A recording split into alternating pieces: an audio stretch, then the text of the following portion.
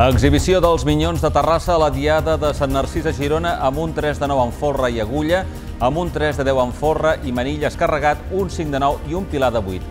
El 20 de novembre, els Minyons celebren la seva Diada a Terrassa. Comença el procés d'elecció i nomenament de la figura que representarà la Sindicatura de Greuges de Terrassa. Des d'aquest dilluns i fins al 21 de novembre es poden presentar les candidatures. L'Ajuntament impulsa aquest procés vacant des del passat abril, més en el que Isabel Marquès va deixar el càrrec. Les candidatures es poden presentar a títol individual o a través de qualsevol associació o entitat. El Club Natació Terrassa de Waterpolo s'acomiada d'Europa amb una victòria insuficient per passar a la següent ronda de la Eurocup. Ha estat l'únic triomf de l'equip agarenc després de les derrotes amb el Ferencváros hongarès i el Napoli italià. Castanyes, panellets, moniatos són els productes típics de la castanyada. Aquesta tradició catalana conviu amb la festa americana de Halloween, que té molts seguidors, sobretot entre els nens i els joves.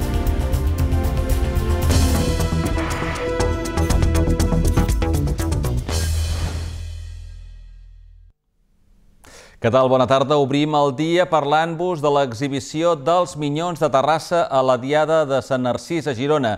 Els Malves han portat a plaça el 3 de 10 en folre i manilles, el 3 de 9 en folre i agulla i el 5 de 9 en folre.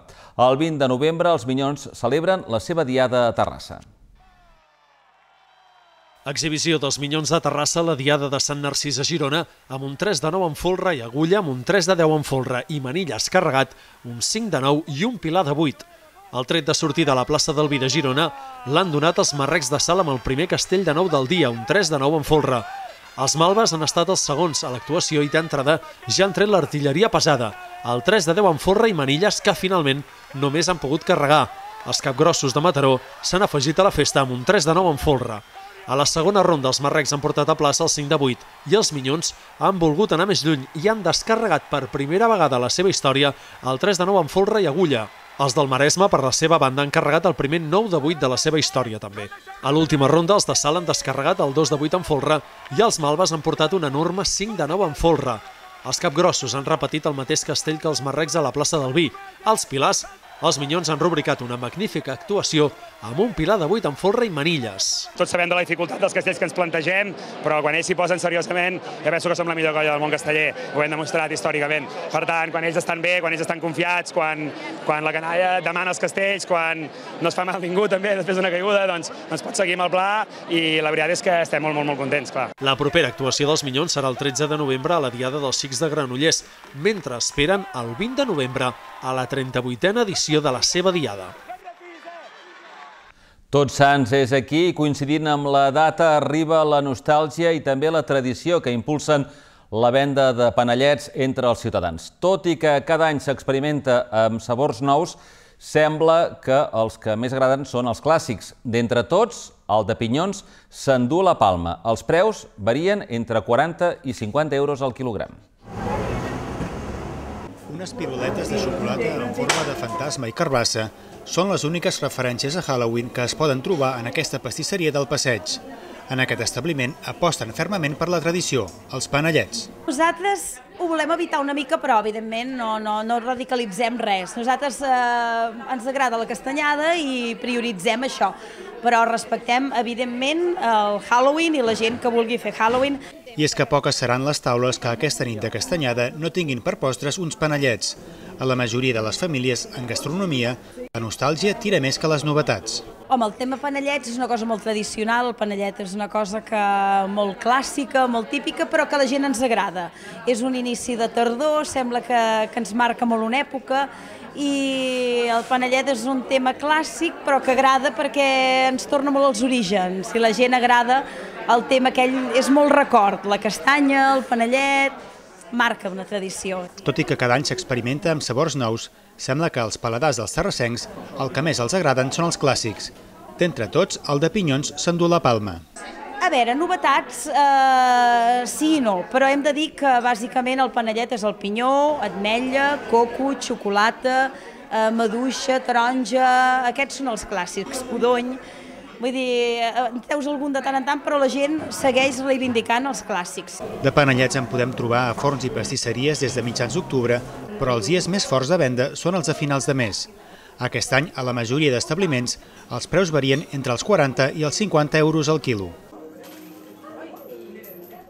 Enguany, les castanyes i els moniatos resisteixen la invasió de la festa de Halloween. Pel que fa als preus de les castanyes, aquests es mantenen però s'incrementen els de les matèries primeres d'altres productes tradicionals de l'època.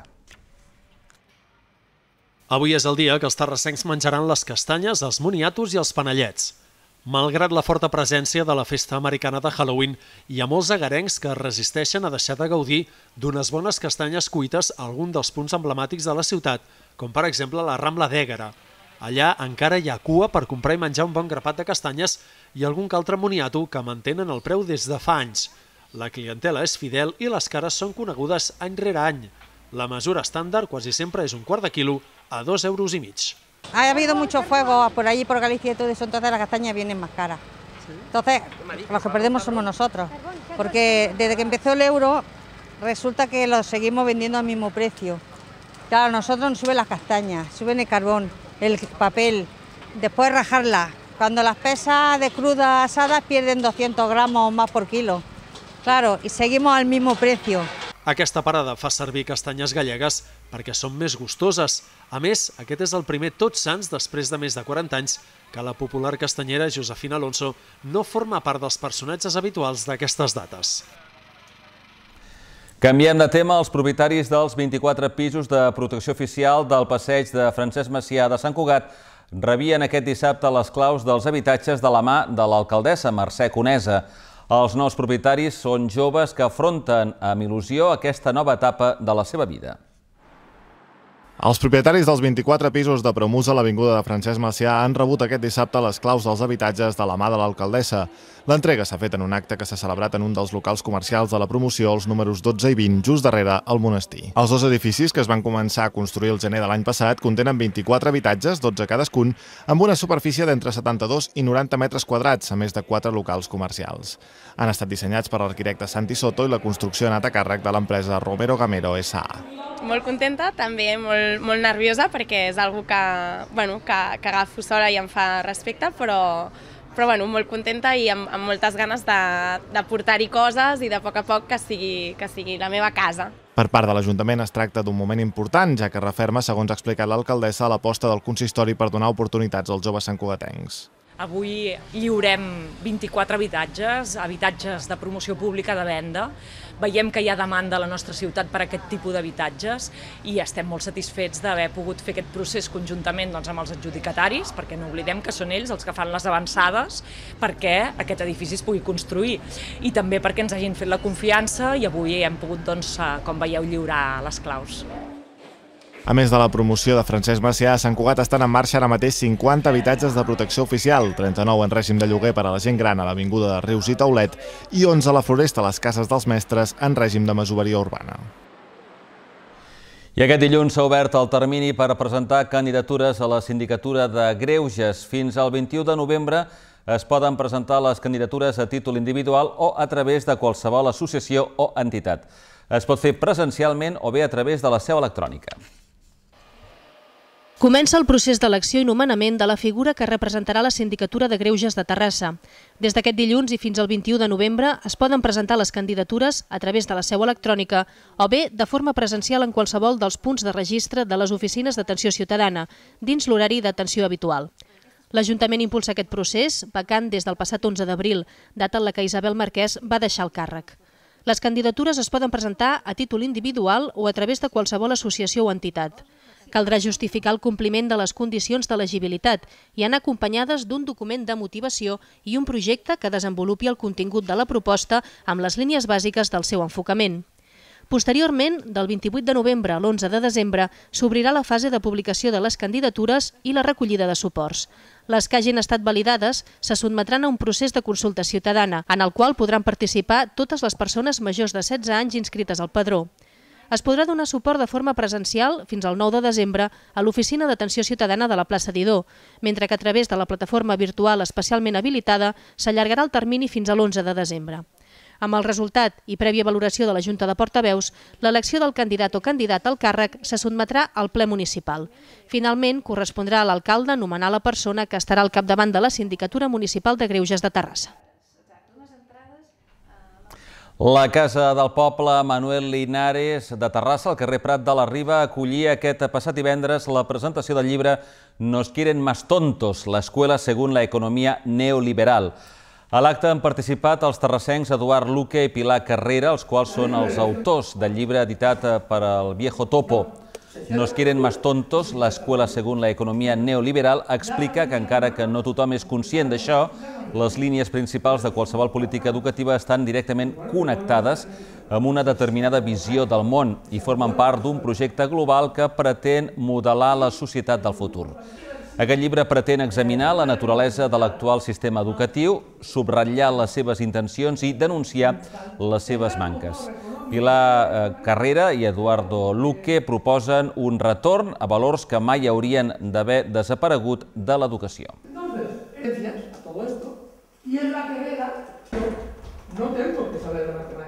I aquest passat dijous es va celebrar a l'Escola Pia de Terrassa el tercer vespre de les llengües, un acte que pretén mostrar la importància que es dona als idiomes en aquest centre educatiu.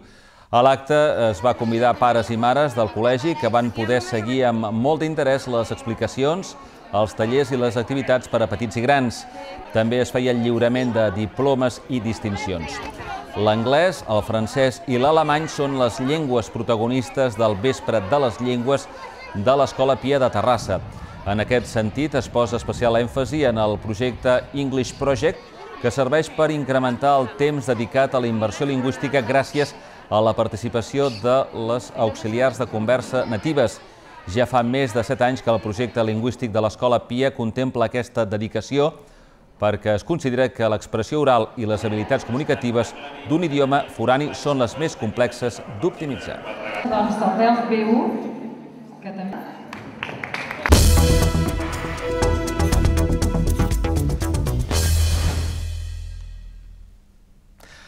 El Club Natació Terrassa masculí de Waterpolo s'ha acomiadat d'Europa amb una victòria. No podrà passar a la tercera fase de l'Eurocup perquè va perdre els dos primers partits davant el Ferenbaros hongarès i davant el Napoli italià. El somni europeu del Club Natació Terrassa s'ha acabat aquest cap de setmana a Nàpols. Després de superar brillantment la primera fase, l'equip de Dida Covaccio li esperava una segona força més complicada, atès que els seus tres rivals havien quedat primers dels seus respectius grups. Han estat tres partits exigents en tres dies amb un balanç de dues derrotes i una victòria. En el primer disputat divendres, el natació li va tocar l'os del grup, l'hongarès Ferenc Baros, plegat d'estrelles internacionals. Els terrassencs van competir prou bé, tot i caure per 8 a 6. El partit decisiu es jugava dissabte contra els anfitrions, el Canotieri. Va ser un duel amb moltes alternatives i amb un arbitratge casolà que va treure de polleguera el natació que va acabar amb 18 exclusions. El partit va començar prou bé amb un gol d'Aguilar. Al segon quart, el panorama es va capgirar com un mitjó i els italians van endosar un 4-0 amb tres d'aquests gols en superioritat numèrica. A la represa, el Natació es va tornar a posar al partit, arribant a l'últim quart amb un 5-4 al marcador, però no va ser suficient. 7 a 4 al final, que deixava els agarencs fora d'Europa. Va ser un partit molt igualat, però i en els moments que ells van tindre les seves opcions per poder marxar al marcador la vam aprofitar i nosaltres va haver-hi moments que ens vam posar, eh, ens vam posar allà al mig, però, però no vam acabar d'atrapar-los. Diumenge es va disputar un partit de tràmit amb el PD Natation perquè tots dos equips ja estaven eliminats. Els de Dida Covacho es van poder acomiadar de la competició amb una bona victòria per 9 a 3. La, la valoració sí que és positiva, però pel fet de que som un equip que, que, que ara portàvem 5 anys sense anar a Europa, aquest any hi hem tornat, i clar, l'objectiu era arribar al més lluny possible. Uh, està clar que nosaltres cada cop que juguem una fase o juguem un partit anem a guanyar-lo, sigui contra qui sigui. Som conscients que, que allà hi ha clubs, no? els tres clubs contra els que hem jugat, són clubs que porten, uh, no han renunciat a Europa, ells, ells cada any hi van, i clar, perquè no, això és una experiència que ells tenen que nosaltres no, no l'hem tingut, i ara mateix sí que és veritat que, que, que s'ha notat, no? sobretot en aquesta segona fase. Fa créixer el club, l'equip i sobretot fa créixer la ciutat també, o sigui, no us oblidem que al final és el nom de Terrassa el que estem, el que s'està sortint a, a Europa. El Club Natació Terrassa haurà de centrar-se ara en la Lliga. Dijous hi ha derbi a Can Llong. Per la seva banda, l'equip femení de waterpolo del Club Natació Terrassa, la divisió d'honor, es presentava davant la seva afició en el primer partit de la temporada a casa. A la primera jornada havia perdut a Moscardó, a Madrid, i en aquesta segona jornada rebia la visita del Rubí. Partit eh, còmode, plàcid per les jugadores de natació que s'imposaven finalment pel resultat d'11 a 6. L'equip femení del Club Natació Terrassa es presentava aquest dissabte davant la seva afició i ho feia amb una convincent victòria davant el Club Natació Rubí pel resultat d'11 a 6. El conjunt agarenc sempre va ser molt superior a les rubinenques. Ja en el descans dominava per 7 a 3 i a la represa encara va eixamplar més l'avantatge fins a un 10 a 3. D'aquesta manera, el natació suma els primers 3 punts de la temporada després de perdre la primera jornada a la piscina del Moscardó a Madrid. L'entrenador del natació, Xavi Pérez, es mostrava satisfet pel partit i valorava el fet que havien pogut participar totes les jugadores. Sí, la veritat és que, és que tenia moltes ganes i a més després de la setmana passada que, no, que jo no vaig sortir contents amb ella, els hi vaig dir que no vam, que no vam estar bé, que aquest equip no era per, per jugar malament, es pot perdre, es pot guanyar, però que, que sobretot el que han de mantenir és la concentració durant tot el partit. La setmana passada no ho vam tenir i vam perdre i aquesta setmana no, no podíem cometre el mateix error Eh, crec que hem sortit molt enxufades, molt posades, eh, tothom molt conscient del que havia de fer en cada moment i això és el que ha permès que mica en mica poguéssim marxar al marcador i, i arribar a l'última part amb, amb, amb el partit amb 5 gols d'avantatge i, i bastant decantat. El natació tornarà a jugar la propera jornada a casa. Serà contra l'escola Waterpolo Zaragoza. I en futbol, el Terrassa Futbol Club a la tercera divisió continua sense poder trencar el malefici de guanyar fora de l'Olímpic. Porta ja més de 10 mesos sense aconseguir-ho. Aquest cap de setmana va tenir l'opció d'arrencar aquesta ratxa al camp de l'Escó. Es va avançar el marcador, però al final acabaria perdent per dos gols a un. El Terrassa ha tornat a perdre després que en la darrera jornada s'avorís la victòria en l'estrena d'Agustín Baques a la banqueta. La visita aquest diumenge al camp de l'Escó s'ha saldat amb una derrota per 1 a 2. No ha estat un bon partit dels agarencs. Les millors oportunitats al primer temps ha estat per al conjunt local, que no les ha sabut transformar en gol. Tot i així, poc després de la represa, el Terrassa s'ha avançat amb un gol de Raillo, que ha recollit un rebot dins l'àrea.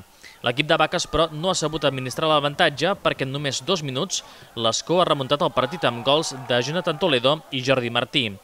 Después del, del, del, gol, cuando quizá más teníamos que apretar y aprovechar esos momentos de, de dudas del rival, pues bueno, eh, te marcan los dos seguidos en, bueno, en, errores que evidentemente hay que corregir.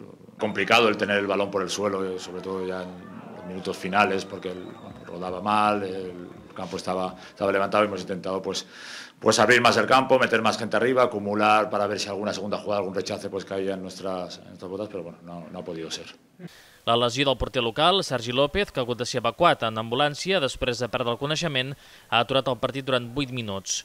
El Terrassa fa 10 mesos que no guanya lluny del seu estadi. Amb aquesta derrota és a la meitat de la taula, a 6 punts tant dels llocs d'ascens com de descens. La propera jornada rep el Júpiter. En bàsquet, la Unió Esportiva Sant Cugat es deixava la pell per desfer-se de l'Escola Pia de Sabadell en un partit sense descans que va acabar dominant de només 4 punts. Malgrat ser el darrer classificat del seu grup de Copa Catalunya, els de Sabadell van posar les coses difícils.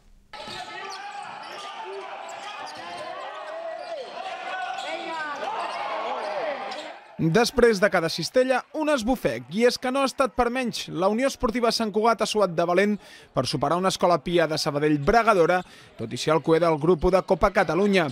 Els Sant Cugatencs han gestionat una diferència que ha arribat als 14 punts i s'han sentit obligats a fer-ho en un terreny pantanós enfangat per la proposta travada dels visitants.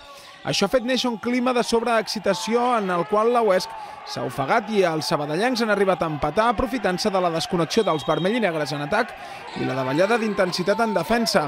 La UESC, però, no s'ha deixat aclaparar ni per l'ofici visitant ni per la intensitat del seu públic i gràcies a una cistella clau d'Arnau Sanauja ha encarrilat el partit i s'ha acabat enduent el triomf. i que inclús en els mals moments no li perdem la cara mai al partit i que som capaços d'aguantar ajustat el partit. No? Aleshores, gràcies a això ens hem mantingut a, en els pitjors moments i al final ja et dic, hem estat més incertats que ells, però hem patit molt i ens ha costat molt guanyar el partit, molt. La Unió Esportiva Sant Cugat suma tres victòries i dues derrotes i la setmana que ve visita la Bisbal Bàsquet. En hoquei sobre patins femení, victòria de l'esfèrica l'Hockey Lliga Femenina en el seu desplaçament a la pista del Palau de Plegamans, on va guanyar per 4 gols a 5. Per la seva banda, el patí hoquei femení Sant Cugat superava el Bateró en un final ajustat i sumava la primera victòria de la temporada després de disputar-se la tercera jornada de l'Hockey Lliga.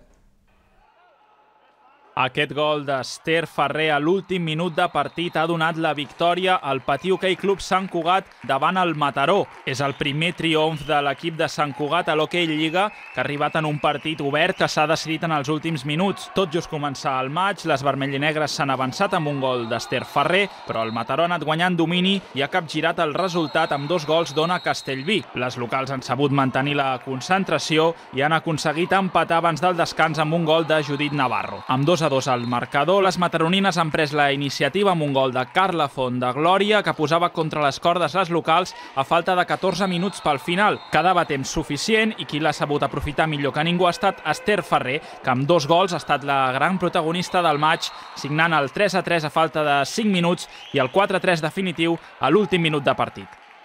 Hem cregut fins al final i al final hem, hem tret els 3 punts. Seran sempre partits eh, superajustats on haurem de patir fins a l'últim moment, però bueno, ja tenim tres punts i, i molt content, per, sobretot per elles, perquè crec que portem una dinàmica de joc molt bona, que estan treballant molt bé i, i s'ho mereixen. Dissabte que ve, el femení del Pati Hockey Club Sant Cugat visita la pista de l'Alcorcón, que encara no ha sumat cap punt.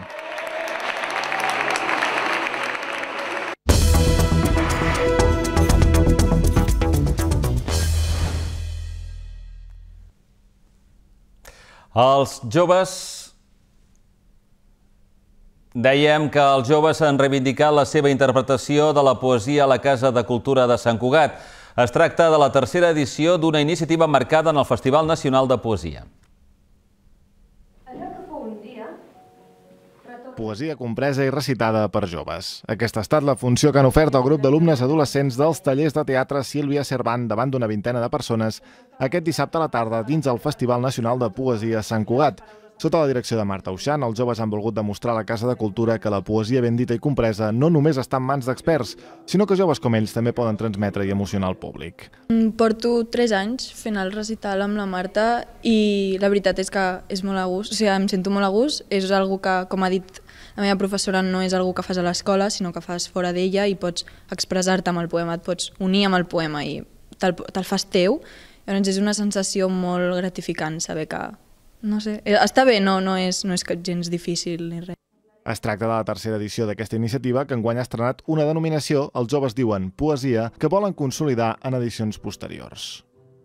Enguany, sis alumnes han participat a l'espectacle que ha ofert diverses modalitats escèniques per representar poemes de noms com Jorge Bucay, Sílvia Plath, Pablo Neruda o Roc Casagran.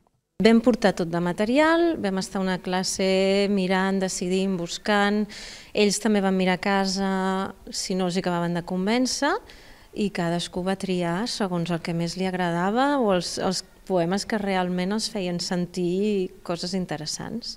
Aquest dissabte també ha tingut lloc dins el Festival Nacional de Poesia Sant Cugat l'espectacle Llum de Llull. De la poesia als bastons, els bastoners de Sant Cugat han començat a fer els assajos del que haurà de ser la seva repicada, la repicada de la seva diada, que es farà el darrer dissabte del mes de novembre. L'assaig ha permès a tothom tenir un primer contacte amb els bastons i començar a practicar els diferents passos de cada ball. Els bastoners de Sant Cugat han començat aquest dissabte els assajos per preparar la repicada, la ballada de la Diada dels Bastoners que tindrà lloc el 26 de novembre a la plaça del Rei i que forma part dels actes del 25è aniversari de la colla. La coincidència amb el pont de Tots Sants ha minvat la presència de bastoners, però tot i així els que s'hi han acostat han pogut practicar alguns dels balls més clàssics de l'entitat. L'assaig també ha permès a tothom, siguin membres o no de la colla, tenir un primer contacte amb els bastons i començar a practicar els diferents passos de cada ball. Esperem aconseguir que tothom pugui viure en primera persona el Ball de Bastons i se'l senti una miqueta més seu. No? Per això justament el, a la nostra diada organitzem aquestes activitats com són la repicada o l'oca bastonera, que volem que tot Sant Cugat hi participi i si no també poden participar d'una forma més passiva, com si diguéssim, mirant totes les, acti les activitats i actuacions que oferirem al llarg de l'any. La Diada dels 25 anys es celebrarà els propers 26 i 27 de novembre amb l'objectiu d'apropar la tradició del ball de bastons als santcugatencs. El proper assaig es farà dimecres que ve al mateix lloc a les 8 del vespre. L'associació Grup Sardanista Terrassa Nord ha celebrat aquest dissabte l'acte de cloenda de la temporada d'estiu 2016. La plaça Primer de Maig ha acollit durant pràcticament tot el dia diferents actuacions i exhibicions de diverses disciplines de ball. Entre altres activitats, una masterclass de zumba, hip-hop, sardanes i sevillanes. La jornada també ha contemplat una botifarrada i actuacions musicals en directe.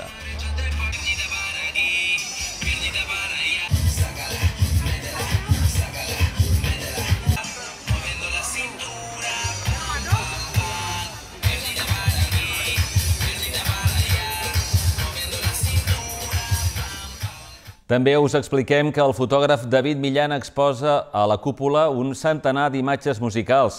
Millan ha hagut d'escollir entre 300 fotografies inicials. De cara a l'any vinent, anuncia la publicació d'un llibre on es podrà veure més material recollit durant els concerts. El fotògraf musical David Millan ha inaugurat una exposició des dels meus ulls de cristall a l'espai La Cúpula del carrer Sant Pere de Terrassa. En aquesta mostra s'hi poden veure quasi un centenar de fotografies de diferents grups i músics agarencs de rock i heavy durant els concerts que han fet a la ciutat o bé a alguna població de l'àrea metropolitana. A la inauguració de dissabte, molts dels protagonistes de les fotografies han estat presents a l'acte. De fet, el president dels Amics de les Arts, Jordi Chueca, ha explicat durant la presentació de la mostra fotogràfica que gràcies al mateix David Millan s'ha tornat a impulsar la secció de fotografia, aquesta exposició es combinarà amb altres activitats durant el trimestre. Millan avança que té previst exposar a Nova York i presentar un llibre en uns mesos. La meva intenció és eh, l'any vinent, de cara a l'estiu, doncs, publicar un llibre de fotografia on hi haurà cabuda per d'altres músics que, que no estan aquí. Vull publicar un llibre de músics de rock, de heavy, de la ciutat de Terrassa, principalment. Potser algun també de l'àrea metropolitana, on hi haurà cabuda més gent i una visió més, més global, més fotos encara. L'exposició des dels meus ulls de cristall es podrà visitar fins al proper 11 de novembre. Doncs bé, amb aquesta informació tanquem l'informatiu al dia. Gràcies per la seva companyia, per fer-nos costat durant aquests minuts. Tornem dimecres. Que vagi bé. Bona tarda.